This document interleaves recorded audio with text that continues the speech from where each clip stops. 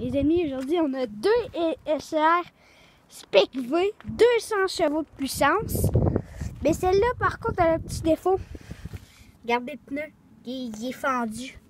Il est mou. Mais elle m'a l'air en très bon état. C'est un char, là. C'est une, une vraie bombe. Quand même rapide.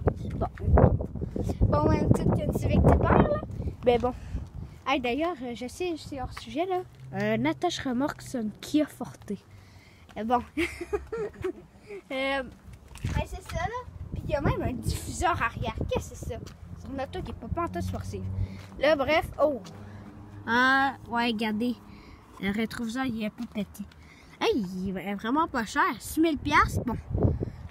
211 000 km au compteur. Pour une auto de vitesse, quand même pas mal. Le 2.5, ça fonctionne? Emmanuel.